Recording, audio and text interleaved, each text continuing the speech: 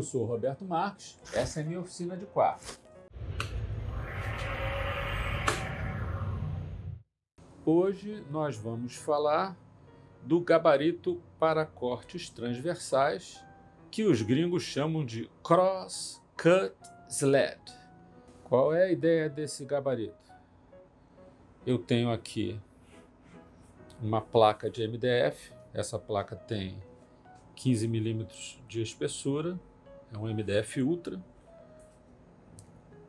Aqui embaixo eu tenho duas, duas ripas de madeira de 19 milímetros por 8 milímetros de altura, 19 milímetros de largura por 8, que vão fazer com que o, a placa de MDF escorregue aí por cima da serra de bancada e possa fazer os cortes.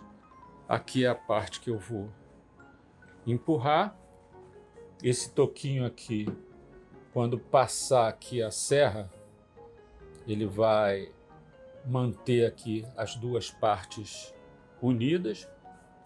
O meu antigo eu fiz aqui inteiro, não preciso, só ser um toquinho. Nós estamos querendo também evitar que o gabarito fique muito pesado.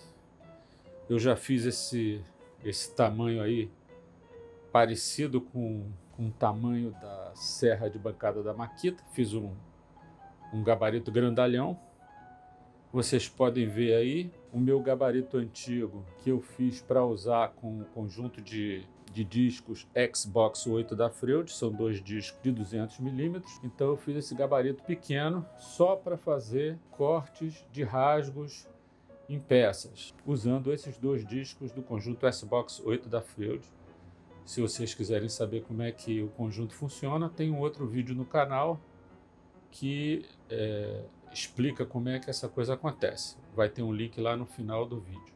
O primeiro gabarito, então, que eu fiz foi baseado num, num vídeo do Piropo, um gabarito bem simplinho, né? Eu fiz para a Bosch GTS 10J, minha antiga serra de bancada, e depois eu fiz um gabarito um pouco maior que é esse aí que vocês estão vendo que eu usei durante bastante tempo. Então, eu fiz essa parte de trás aqui com compensado, dois pedaços de 20 milímetros de espessura. Eu vou depois prender aqui para ajustar os 90 graus em relação à lâmina da travessa que empurra o gabarito Existem muitos métodos para fazer esse ajuste. Eu sou mais simplório. Uso um esquadro de 90 graus de um lado e do outro. Quando estiver tudo ajustado, eu prendo então a travessa por baixo com parafusos.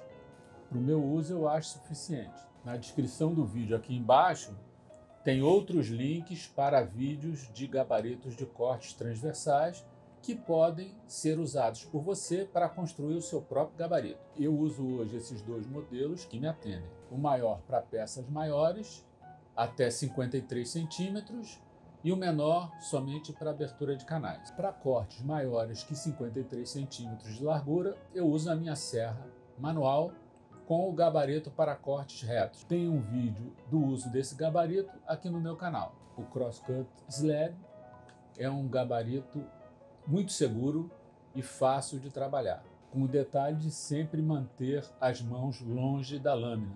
Para cortes longitudinais, melhor não usar gabarito nenhum e sim a guia da serra de bancada. Esse gabarito dispensa o uso do goniômetro.